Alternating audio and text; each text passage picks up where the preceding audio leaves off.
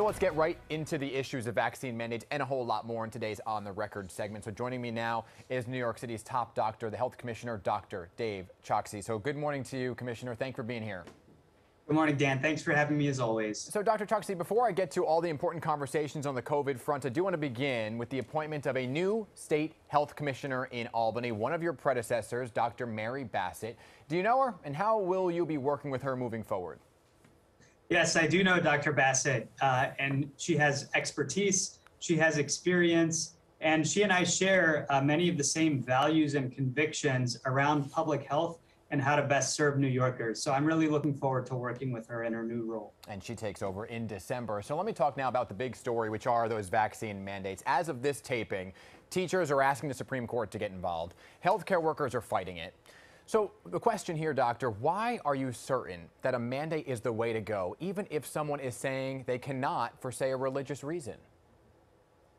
Look, vaccines work. We know that. Uh, and we now are seeing that vaccine mandates work as well, particularly if they're paired with easy access to vaccination, incentives, uh, and building vaccine confidence as we have in New York City. Um, we bring all of these approaches to bear together, and it has increased the vaccination rate. It's a major reason why uh, we're now at 5.3 million New Yorkers who are fully vaccinated. So healthcare workers, you know, they were heroes. They kept people going during the pandemic. They were praised. Everybody applauded and cheered for them at 7 p.m. each night, right? Who can forget that? And now they're being told, hey, face unemployment if you don't get vaccinated. Is that fair? Well, what I would point out first is that the vast, vast majority of healthcare workers are getting vaccinated. Uh, you know, we're seeing very high rates even before the vaccine requirement went into effect. Um, and uh, and now, you know, everyone has to be subject to this requirement. The reason is around health and safety. Yeah. Um, and we all, and you know, I'm a I'm a doctor and I have my own clinical practice. We all have a responsibility to take care of our patients. Right. And so this is part of uh, keeping the people that we serve safe. Uh, understood, doctor. And, and, and that brings me to the next topic, which are schools, right? So far, hundreds of cases. Classrooms and schools have had to be shut down because of breakthrough cases among staff. While you're mandating vaccines for teachers and staff, let me ask you this. Why stop short of issuing a mandate for students who are eligible? Um, yes, well, let's start with the staff mandate, um, which uh, which I issued in uh, August and which has now been upheld in, in state and federal court mm. and goes into effect tomorrow. Um, that's such an important layer of protection for students, along with all of the other layers that we have. Uh, we have had some requirements for students, particularly um, for students who want to participate in uh, high risk sports or other right. extracurricular activities.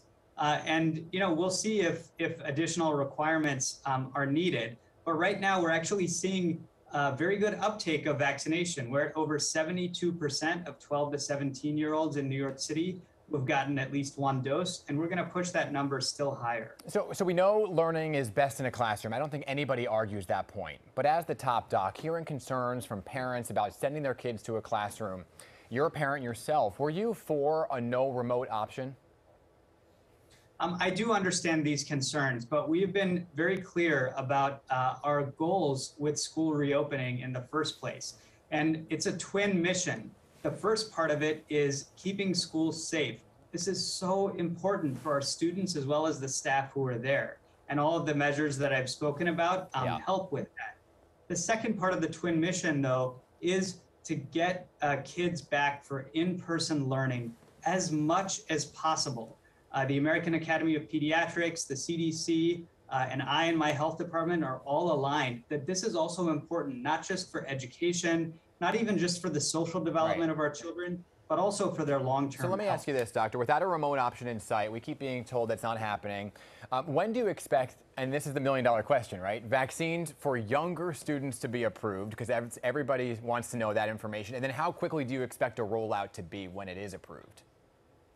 Um, yes, you know, we're seeing hopeful signs. Uh, Pfizer submitted their data to the FDA, uh, and the FDA, we know, will be expediting its review. As always, it needs to be careful and methodical to ensure the safety and effectiveness in this mm-hmm. age group. But I'm optimistic, uh, and we're hearing uh, November and perhaps even earlier with respect to the authorization for kids who are 5 to 11. Yeah. Um, New York City, as always, as we have been throughout the entire campaign, uh, once we get that authorization, we'll be ready. Good. Uh, while COVID is on top of mind, we saw the mayor roll up his sleeve, right? It's also flu, flu season. For those who are wondering, Dr. Chokshi, is it safe to get the flu vaccine after or very close to getting the COVID vaccine? The answer is yes. Um, you can get uh, the flu vaccine at the same time as the COVID vaccine. They can both be administered together, or if you prefer, you can get them, you know, a few days or a couple of weeks apart. Um, but the most important message is that this is the wrong time to get the flu, uh, which means it is precisely the right time to get your flu shot. Um, you can visit nyc.gov/flu and get all of the information about how to get vaccinated today. There is so much to talk to you about, and we're, we're simply out of time. And I don't want it to lose sight that we do want to talk about the new public health corps as well. And so I'll invite you back so we can talk more about that important initiative because there is a lot to discuss, but we're simply out of time. Dr. Chokshi, thank you for being here. Thank you for having me, Dan.